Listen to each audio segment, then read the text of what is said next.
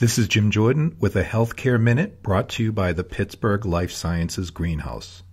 The Pittsburgh Life Sciences Greenhouse model is about aligning the customer needs with investment trends and acquirer purchase cycles.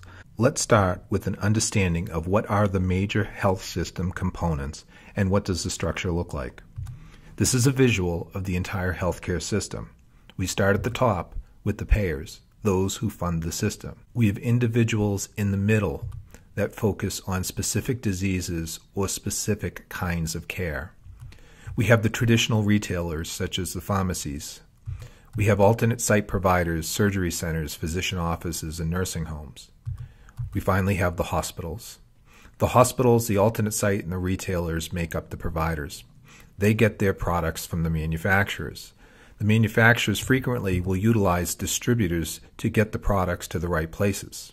However, frequently they will also, the manufacturers, sell directly.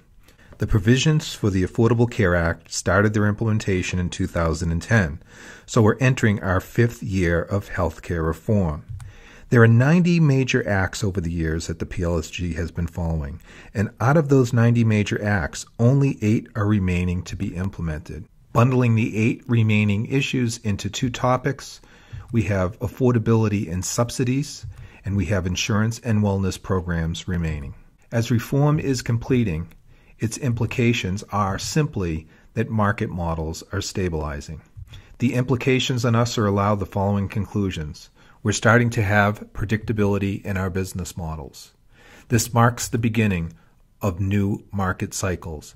And of course, new market cycles are to the benefit of startup companies. This is a Healthcare Minute from the Pittsburgh Life Sciences Greenhouse.